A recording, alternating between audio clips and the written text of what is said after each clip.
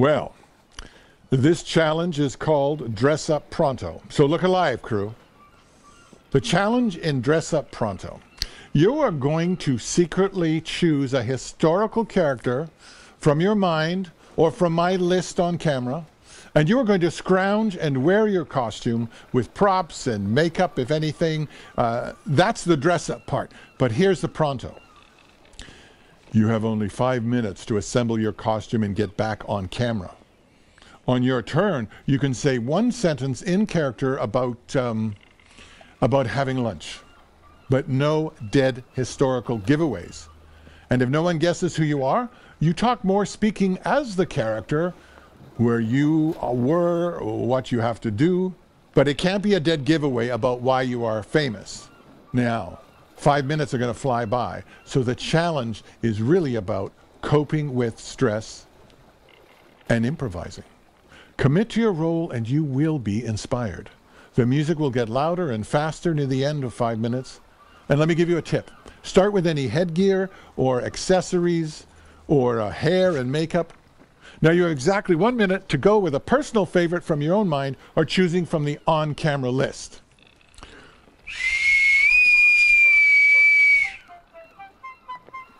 Choose a character that sparks a costume idea with you. The first mate has the helm to the end. Pick your character, create him or her, her in five minutes flat. The music gets loud with one minute to go.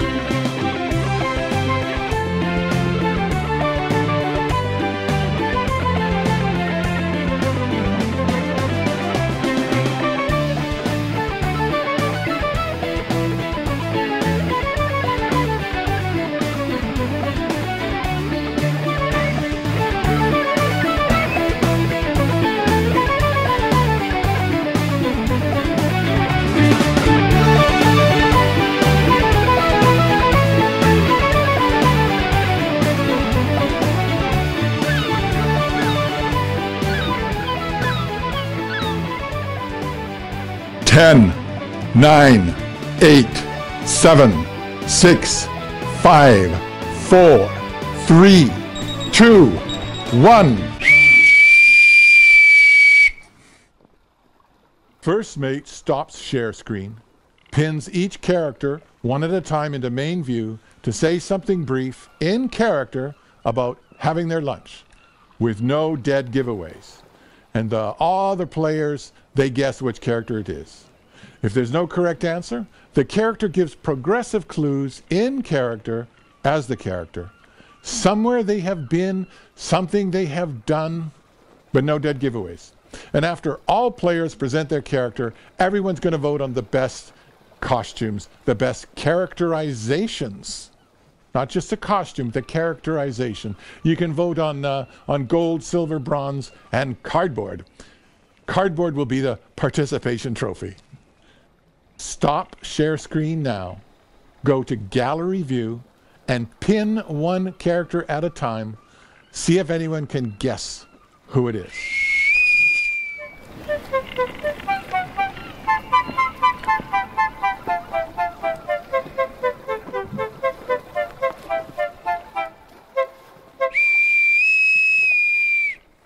This challenge is called What you're Doing Now? It's a competition, like log rolling. You are trying to unbalance your opponent and you're going to send them tumbling into the water. It's hard because you are 100% physically occupied while constantly thinking of something new that you have to do. I'll demonstrate. Then you will be put into matches, which can be knockout rounds or round robin as time allows. So you're going to be competing with other players one on one. So I've got an open playing space. I've got about six feet back from my webcam and uh, about six feet wide. I'm going to demonstrate uh, both player one and player two. Player one starts an activity like uh, washing a window. And then player two will start doing the same thing. And both are fully invested in detailed, committed physical action.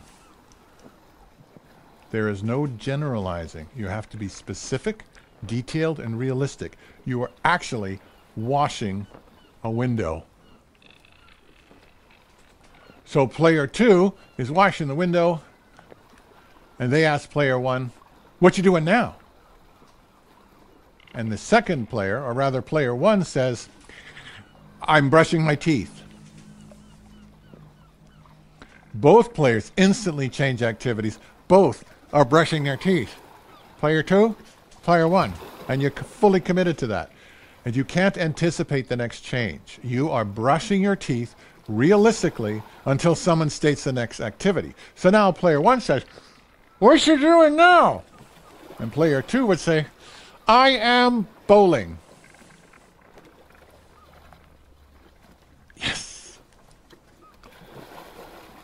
And then player two would say, What you doing now? And player one would say, I am juggling octopuses. and player two would have to do the same thing. But as player one is doing it, they say, What you doing now? And player two would say, I am cliff climbing. Uh, uh, uh, what you doing now? And player one would say, I am eating tarantulas. What you doing now? And player two would say, I am, oh, oh, ah, I'm, I'm. So player two flinched, and player two has knocked off the, lo- the rolling log. Player two is knocked out of the game. You're disqualified if you uh, come in late on picking up an activity and you say, I am, I am. And you're disqualified if you're not acting committed to the current activity, like eating tarantula. This is not playing basketball. You're really just waiting for the next action to be announced. The first mate or the designated judges will decide. Because playing basketball isn't this, playing basketball is this. The first mate will decide whether or not you came in late, whether or not you stalled, or whether or not you were not physically committed. You can't pretend to wash a window waiting for the next line. The first mate will run knockout rounds in the main room. Or you can put groups of four in breakout rooms and play matches between the four and play knockout. Or round robin, which for four players in a breakout room, a round robin would be six matches. And the best record would be the winner and go on to the main room. Or if it was a knockout, the same thing. On to the main room finals, if time allows. Just playing the game in breakout pairs all at once makes for a good short warm up for any meeting. The first mate has the helm.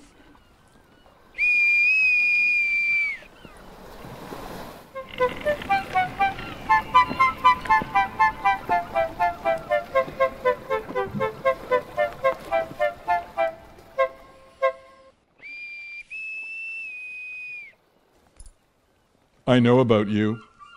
I know what you can do. I know your hidden talent. Do you? Teams of four and three are going to combine their talents for a three ring circus, a flea market circus for the camera, to compete with other trios.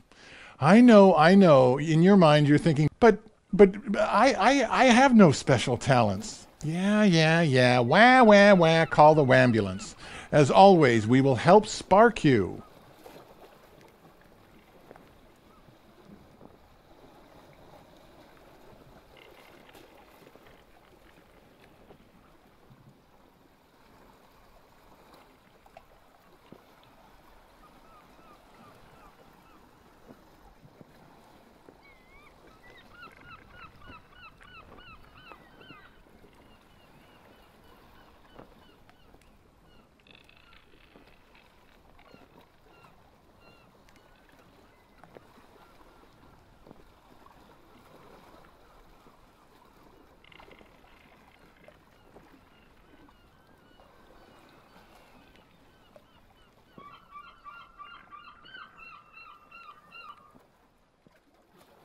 Ten, nine, eight, seven, six, five, four, three, two, one. Your team will rehearse your tiny circus or variety show to compete against other teams. You will pick a name for your flea circus. Extra points for combining your talents together. For example, you might contribute music uh, as a duet together, or a comedy duo, or sound effects to a teammate's act or their trick. Or do an act together on two screens at once, like telling a joke. You could alternate in a song, or you could do a rap off or a dance off against each other. Each of you will introduce one teammate's act as an MC at the circus. And now, ladies and gentlemen, boys and girls, your lovely Linda, or Graham the Terrible, or Miranda the Magnificent. All breakout rooms get the first three minutes for planning and rehearsal. And then in the main room, each team gets three or more minutes to present their circus. The time limit will be set by the first mate.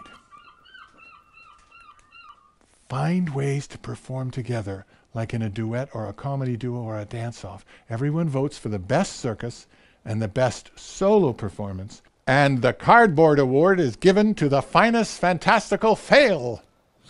If time is no object, the first mate might afterwards mix up the players in new teams, new flea circuses, and do another round of acts and new tricks. The first mate will now put you in breakout rooms of three or more and bring you back to the big top after three minutes of planning for a presentation of no more than about a minute per performer. The first mate has the helm.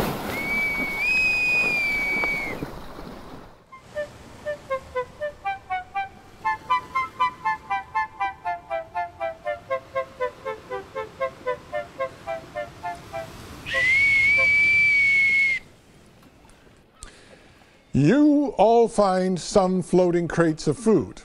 You must scrounge from your own kitchen to create that and bring it to camera. No frozen foods.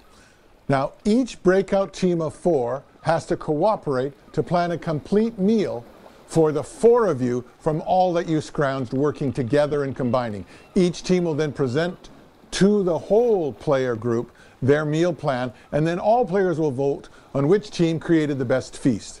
You cannot vote for your own team.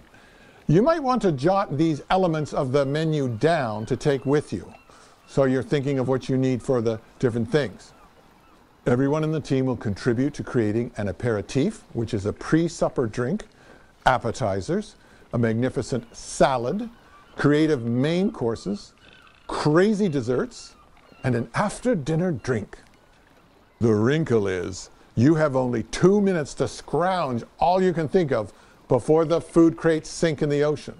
So you have two minutes to grab some gathering bags or a box and go ransack your kitchen and pantry and fill those bags and boxes up. Because if you don't get back on camera in two minutes, you can only contribute two items to the feast and your team will suffer. So, go, go, go.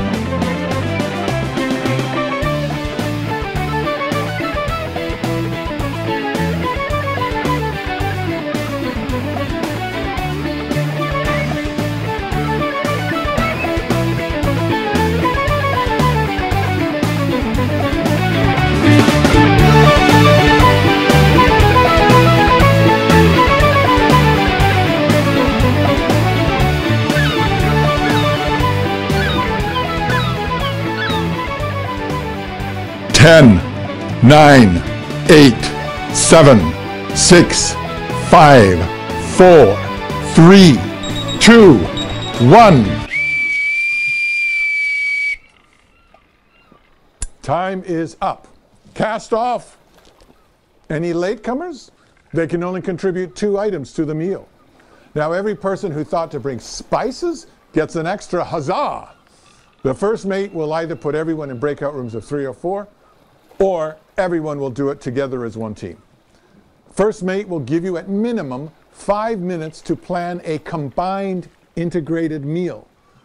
For example, if your team plans a soup with your, your onion and someone else's carrot and someone else's uh, marshmallows, then each team will present their cook-off to the judges in only two minutes. Each team member will present one of the elements, the opening drinks, appetizers, the salad, the main course, the dessert, and after dinner drinks would be six if you go that far. And each of you needs to really sell your course to the voters. The voters is all the other players, everyone else. You cannot vote for your own feast. Now the first mate has the helm. You can end this video, assign breakout teams of three or four for five minutes of meal planning, and then presentation of your meal. Now, if you have a little more time, the first mate can give you more time for planning. You guys can lobby the first mate if you feel you want to do it longer. But always time is a factor. Bon appetit!